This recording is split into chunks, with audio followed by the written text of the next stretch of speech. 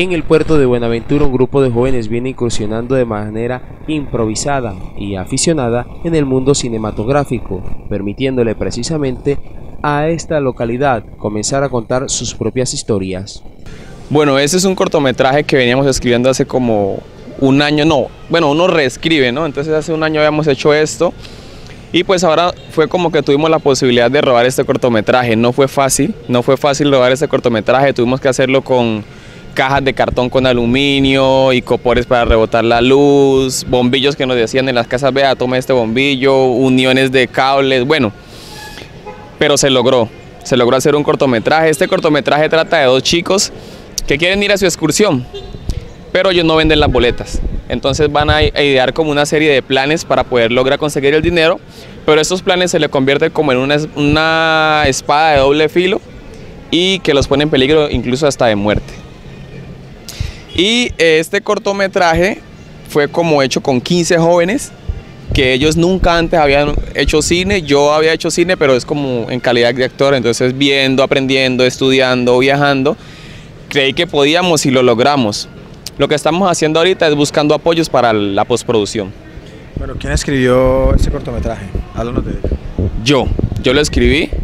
Ese es un cortometraje de una serie de cortometrajes. Exactamente son 13 y como que uno conlleva al otro y conlleva al otro, por eso no le quiero adelantar a la película, pero al final va a quedar como con la incógnita de qué pasa después para que podamos rodar el siguiente cortometraje y todo vaya unido. Luego de culminar el proceso del rodamiento, ese grupo de jóvenes busca el apoyo de empresarios y demás, ya que no han podido, por falta de recursos, realizar la producción del producto cinematográfico hacer cine en Buenaventura no es fácil por muchas razones. Eh, porque pues no tenemos los apoyos, no tenemos los equipos adecuados para hacer cine, pero no nos importó. Nosotros lo hicimos, si nos hubiera tocado con un celular, lo hubiéramos hecho con un celular. Lo hicimos con una Handycam y con un micrófono C1 de un estudio de un amigo que nos prestó. Eh, lo que estamos buscando es el apoyo para la postproducción. Nosotros queremos que este festival perdón, que este cortometraje vaya a los festivales y representa Buenaventura. Nunca antes una película hecha en Buenaventura o un corto hecho por gente de Buenaventura ha ido a un festival de cine. Y nosotros queremos que este sea el primero que vaya y que representa a Buenaventura. Casi sea que no gane eh, el Oscar, la gente diga, marica, estos pelados la votaron, hicieron lo que, lo que tenían que hacer. Pero no es fácil, entonces como que estamos buscando el apoyo de, de todos los que se nos quieran sumar para poder recoger los fondos y enviar a que la película se edite en otro lado porque nuestros computadores de, de 2 GB de RAM no nos dejan editar para que se pueda enviar a los festivales de cine. Asimismo dio a conocer el productor audiovisual y guionista de este cortometraje que buscan conquistar las ferias del cine a nivel nacional, ya que es primera vez que un producto a nivel local busca poner su sello en lo más alto a nivel nacional.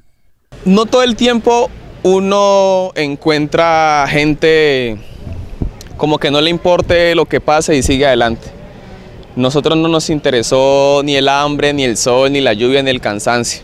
Nosotros fuimos y decidimos hacerlo. Más que un sueño de nosotros, es un sueño de la ciudad. Mucha gente tiene ganas de hacer, pero siempre hay cosas que le impiden. Nosotros dejamos a un lado nuestras diferencias y decidimos hacerlo. Y creemos o sea, tenemos la plena seguridad de que esto puede llegar a ser muy grande o puede ser la catapulta de algo mucho más grande que viene. Buenaventura hoy por hoy se está abriendo como las puertas a cosas que ni siquiera nos llegamos a imaginar. Eso es más allá de que vinieron y robaron una película, ya es hora de que nosotros digamos contamos nuestras propias historias. Y es lo que queremos hacer, contar nuestras propias historias. Y nosotros la verdad en este momentico necesitamos de su apoyo. Y nosotros hoy vamos a subir un teaser a las redes sociales y vamos a enviarlos a, donde más podamos para que la gente pueda verlo. Nosotros pues en este momento no tenemos una cuenta bancaria, no tenemos como algo así que digamos vamos a, meterle plata, ya no. Pero se pueden comunicar con nuestra chica que nosotros le decimos tesodera. El número de ella es 312-853-2004. 312-853-2004. Todo es bienvenido. Hasta las gracias.